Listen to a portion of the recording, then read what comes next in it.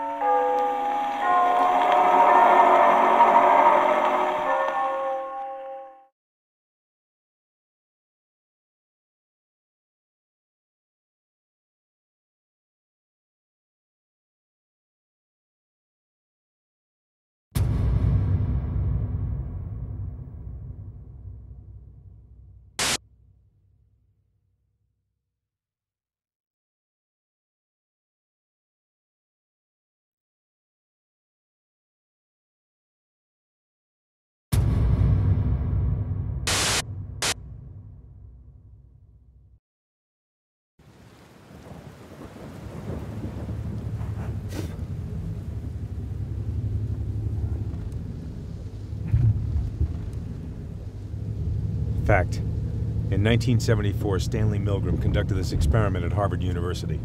Ordinary men and women were brought in to participate in what they were told was a study in memory. They were to play the role of teachers. They were to read a series of words to a person sitting behind a partition. That person was called the learner. The learner was strapped to an electric chair while the teacher watches. Fact. The teacher has in front of him a row of levers labeled from 15 to 450 volts and a row of switches labeled from slight to severe shock. At 300 volts, the learner suffers permanent damage. At 450 volts, the final, death. A scientist is with the teacher. He instructs the teacher to move up one level higher on the shock generator every time the learner makes a mistake. The teacher is supposed to test the learner's memory. He reads the learner a word with four possible answers. If the learner gets the answer correct, they move on. If the learner answers incorrectly, the teacher shocks the learner. He moves from 15 to 450 volts. The learner makes mistakes. The teacher administers shocks. As the shock level increases, the learner starts to protest behind the wall. At 100 volts, he begins to shout. At 200 volts, he pleads with the teacher. At 250 volts, he screams. At 300 volts, he kicks the partition wall.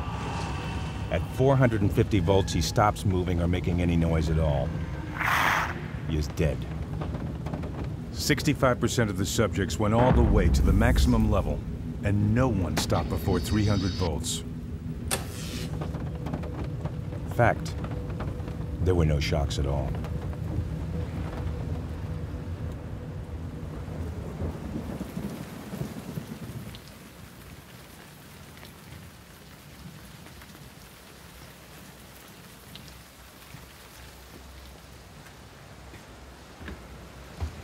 Teacher thought they were administering shocks to the learner, but the learner was actually an actor who was never really harmed.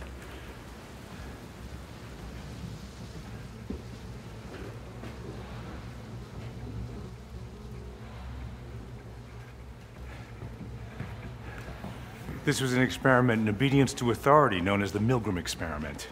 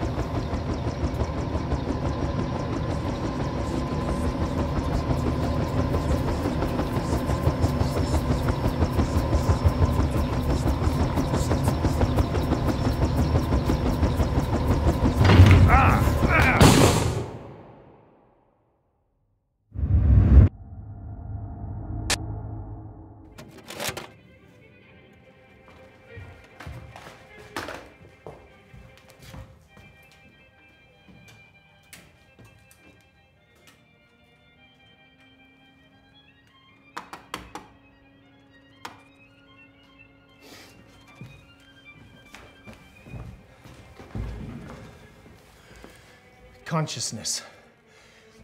The totality of a person's thoughts or feelings, or a class of these. Perception. Cu-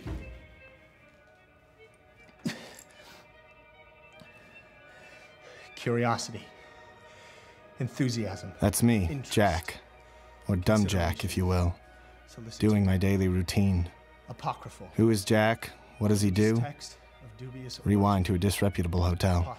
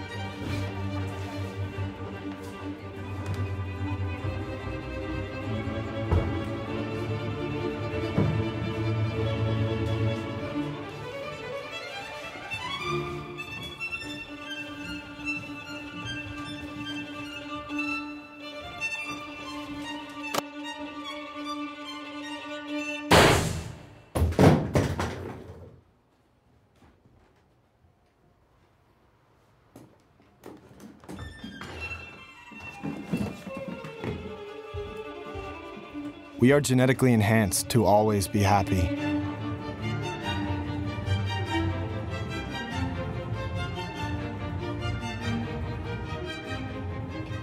But somehow that turned into permanent numbness. Everyone is seeking ever stronger sensations and thrills, ecstasy or epiphany. The strongest is pain.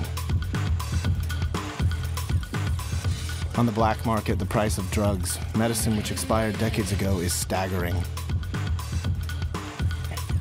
People buy them for the side effects and overwhelming pain they induce. Pain makes them feel alive.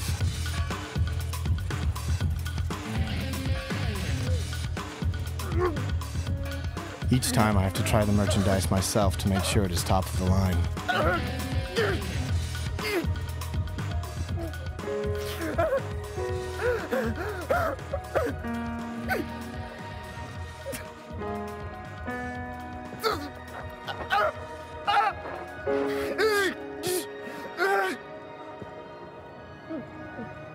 Mm-hmm.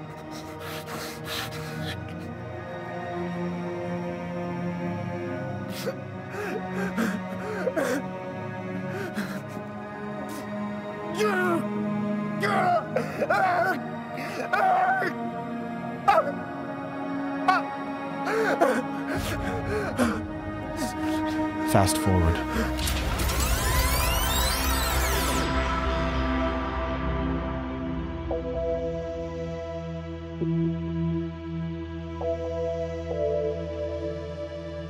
It is the year 2044 of the Gregorian calendar, or the Jewish 5804, or the Muslim 1466, or the Chinese year 60 of the 78th cycle. Another year of the pig, if that matters. But that's not the story. The story is my name's Jack, or Dumb Jack, if you will. And I'm a regular Joe of 2044. Except for one thing. I know words no one else knows anymore.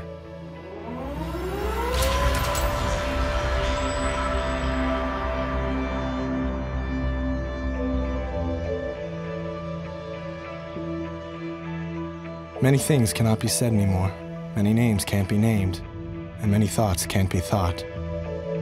You can still say, I want, I need, I have, but you want or need food, sex, a car, or a house. Not solitude, or imagination, or divinity.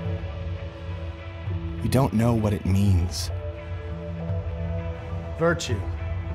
Moral excellence, uprightness, goodness, justice, temperance, fortitude, This is a time faith, when many words are forgotten, but I remember. I don't know why or how or when I realize this, but I know what all these words mean, and every day I record myself reciting them over and over again so I don't forget. It is dangerous to know so many words, so I play dumb.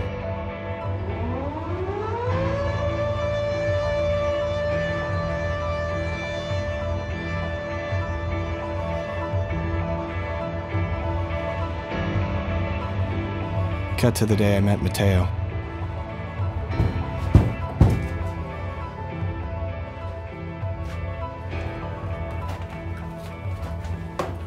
It was Sunday or Monday, and not a very special day at all.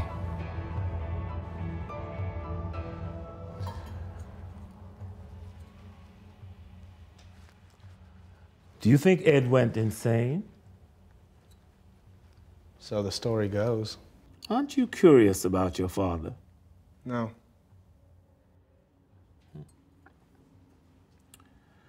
Your father recorded these videotapes. He left them with me for you.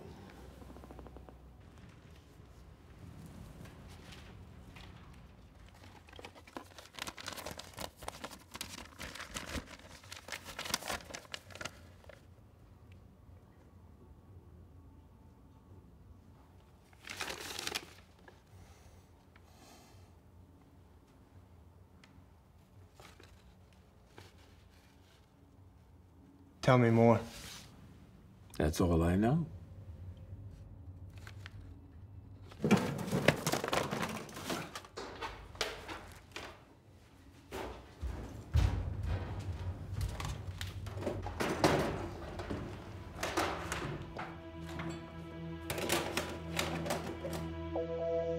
The first tape is just a series of old photographs, so I want you to use your imagination now. See Ed preaching in his church. Thou shalt have no other gods before me. Thou shalt not bow down thyself to them, nor serve them. For I, the Lord thy God, am a jealous God. Ed Crowley became a priest because he doubted God, but desperately wanted to believe. Doubt, however, persisted in his mind and actually grew stronger as the years passed. As Ed saw it, the world was deteriorating in front of his very eyes, and what he was doing didn't make any difference. He couldn't save anybody. Through him everything came into being. Less and less people came to his church. That exists came into being. In the beginning was the Word, and the Word was with God. Then one day everything changed. I'm listening, son. I'm an accountant. Go on. Bless me, Father, for I have sinned. Don't be afraid. I've seen the documents, the secrets. I know they know. My life is in danger. But Calm down, ago- son. Calm down. You don't understand, Father. Do you know what zenith means? What? Zenith, the highest point in the heavens, directly above the observer. There's a secret society of men, and they're pulling the strings behind all the events in the guise of tolerance and brotherhood, but really seeking to further their privileges. The seeds which were unwittingly planted hundreds, thousands of years ago by an idea appropriated by the secret order and made into the laws of the land. This system was perfected over a very long time able to control the masses and keep them dumb and numb. Zenith is the time when the sun comes into its peak, after which there follows an inevitable decline. But this decline will become horrendous because these men will not relinquish their control. Society will crumble. The vast majority will suffer. But this tiny movement has prepared for themselves. They will survive.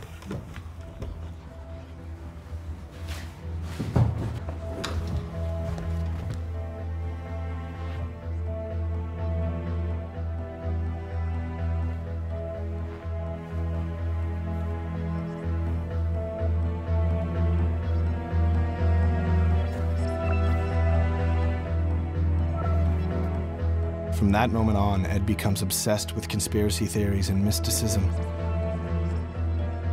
He starts searching for the truth of it all.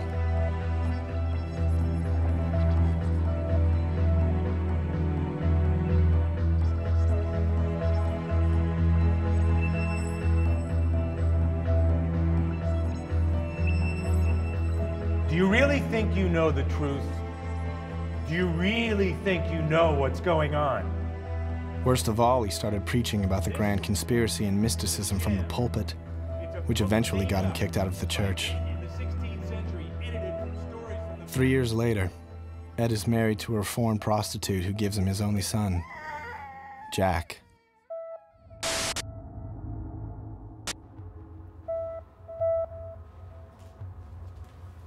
The next tape I find a couple of days later among the few belongings I had left over from my mother when she left me at the age of four. Why did I search there now? Call it a hunch.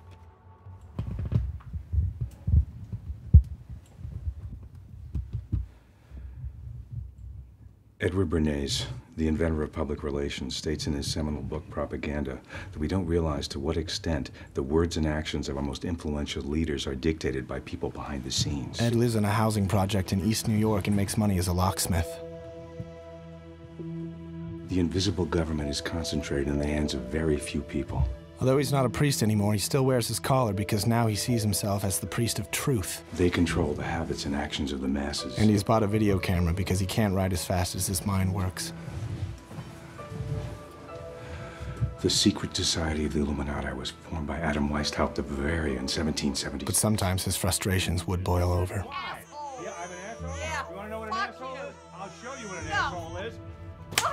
Actually, the first time he went to the police by At himself. the Majestic Hotel in Paris in 1919, the secret roundtable groups of the United States and Great Britain officially became the Council on Foreign Relations and the Royal Institute for International Affairs. It's the one world government. It's the one world currency. They're trying to take control totally of our lives. Next time he got busted for beating a neighbor, then for beating a customer who wouldn't pay. But Ed was not stupid. He might have been crazy, but not stupid.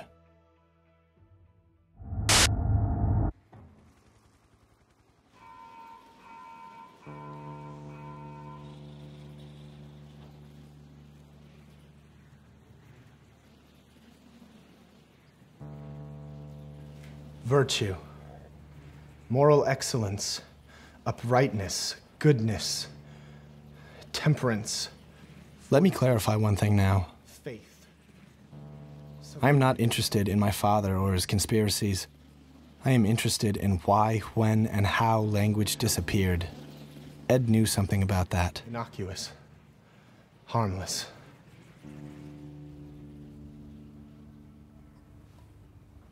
God does not die the day we cease to believe in our personal God. But we die the day our lives cease to be illumined by the radiance of wonder renewed daily. Who said that? Dag Hammarskjöld. You know all these words. I'm old, I remember. I can't forget anything. How come I've never seen you? You never looked. And you waited all this time to knock on my door? I don't go out much. What is it? That is beautiful. You're very talented. He likes you. You're very lucky to have a friend like him. I know. For me? Thank you, Nimble. Nimble and Jack, we go way back. Day one, I drop out of medical school and start dealing on the black market. I almost get killed that first day. Nimble saves my life. He's been doing it ever since. And now, Nimble, Jack, and Mateo. It seems like once Mateo sat down on that chair, he never really got up. The three of us, we don't know anything real about each other, but somehow, this night feels like we're family. Would you like to play again?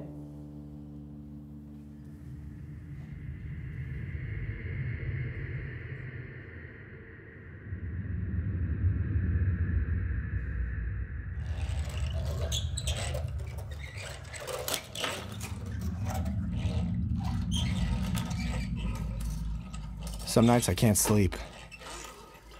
My seizures are worse than usual.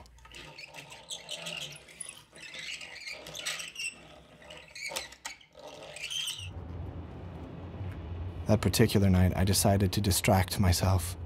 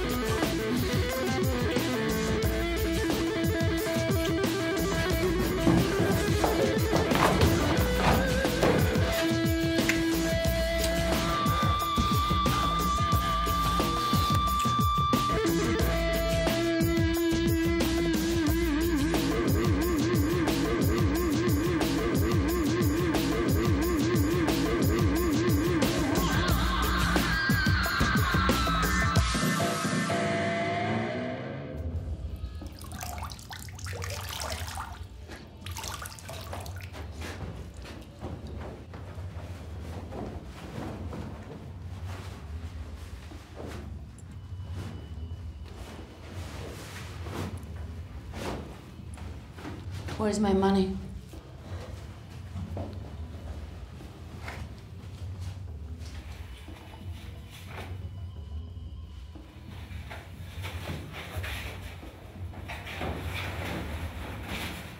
Motherfucker, you think I'm that cheap?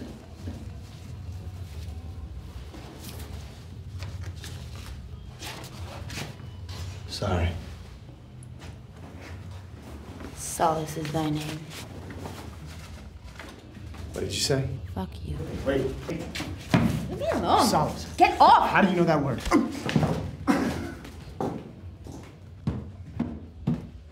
Please, I don't want to hurt you. I know words too.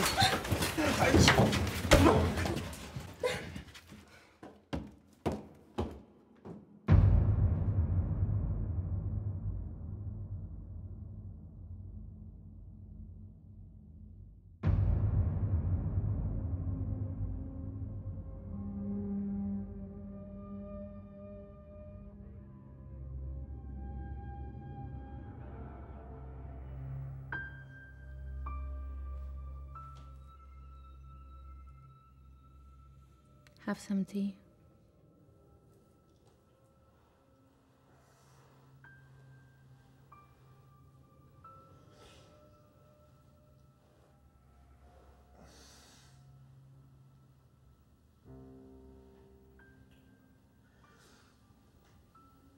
Where am I? Home. You're home. Uh huh. Why did you bring me here? I didn't mean to hurt you. I'm sorry.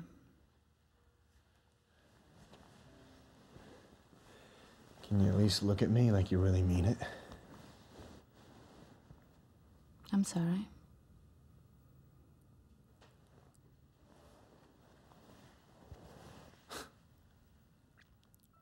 You're beautiful. Rich. And you fuck for money. Not for money. What? To feel the pain? Fill the void? Solace?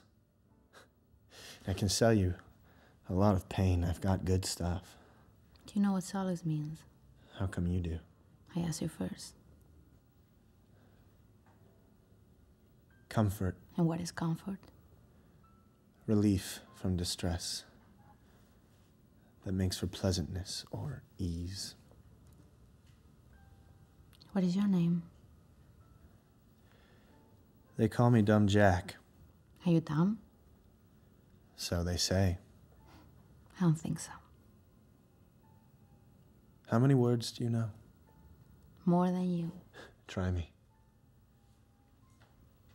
And we? boredom, tedium, irksomeness, monotony, a state of weariness, Sadness. depression, dejection, dinge, dysphoria, gloom, melancholy. Affection.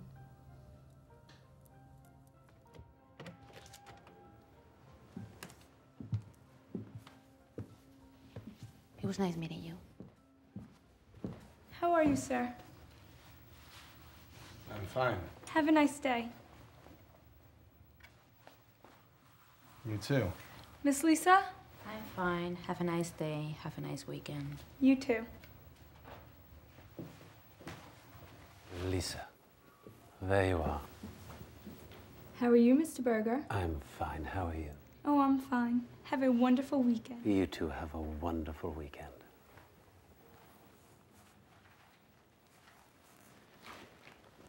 Isn't it time for your lecture? Yes, Dad. This is your friend. His name is Jack. Nice to meet you, Jack. Nice to meet you. Call me Rudy. Lisa was just telling me about your terrible accident. He just fell down the stairs. Don't make a big deal out of it.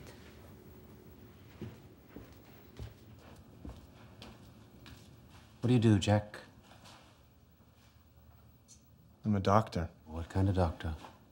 brain surgeon. Ah, what hospital? Kind of freelance. I just had a procedure, you know. Really? How old do you think I am? I don't know. Come on, guess. 35. Close. 85. Well, they did great work on you. Didn't they? I could have gone for 25, but I feel that's too much. 35's decent, don't you think? Hmm. So, you're Lisa's date. Friend. I'm just a friend. I should have known.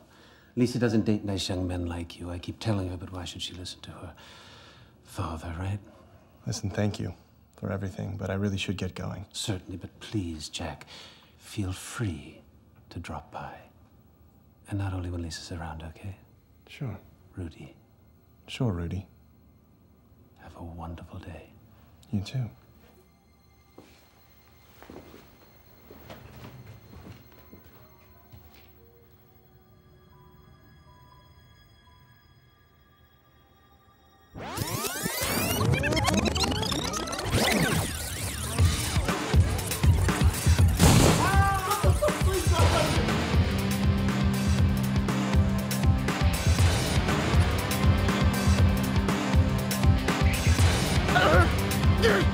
Business is good, but I don't care.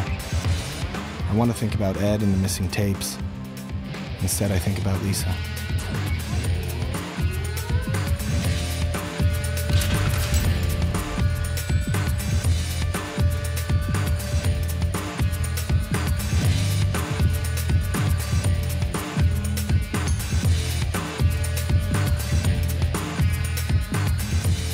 To myself that my interest in her is linguistic, anthropological, scientific.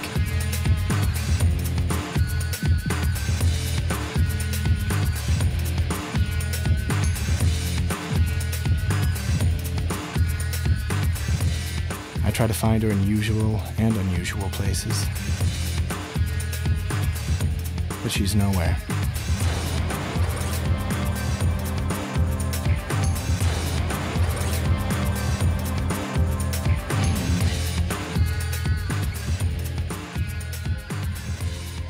Cut to a week later. I put the word out on the street, searching for 40 year old video recordings. Good money for clues, top of the line drugs in exchange for the tapes. A few false clues later, I get this call. A rich collector wants to do business. He sends his cops to meet me.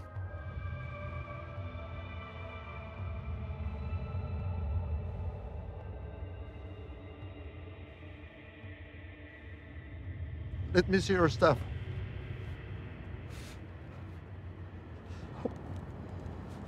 It's top of the line. Heavy duty prescription tranquilizers with massive side effects. Expired 30 years ago. Oh, oh that is good. He is 103 years old, reveling in his personal pain induced by excessive drug abuse. I Are you sure this is what you want? It's very strange. I have thousands of more exciting tapes. This is it. Hold that thought now.